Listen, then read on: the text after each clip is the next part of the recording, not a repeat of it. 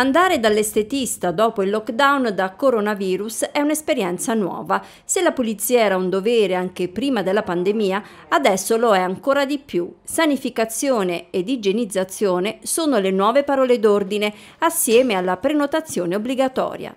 Ci vogliono 10 minuti in più per ogni cliente perché ad ogni cambio cabina si passa il vaporetto.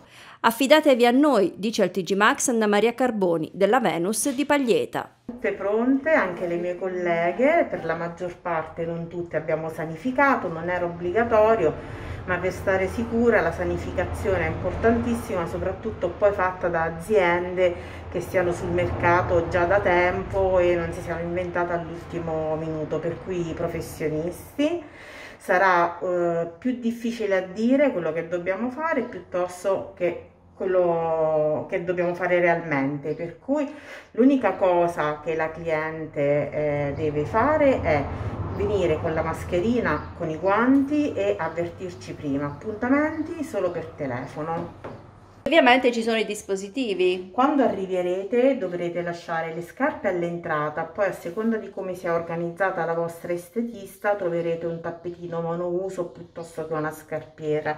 Dovrete indossare o il copriscarpa nel caso delle cere oppure potreste mettere eh, questi ciabattine che sono sanificate usa e getta per cui dipende molto anche dalla vostra estetista. Noi mettiamo sempre a disposizione la mascherina, però ricordate di arrivare con la mascherina non sotto al naso ma sopra il naso, guanti e gel. Per noi che lavoriamo in Val di Sangro, per cui in nucleo industriale, mettiamo a disposizione anche degli sanificatori eh, per gli indumenti per chi esce dal lavoro.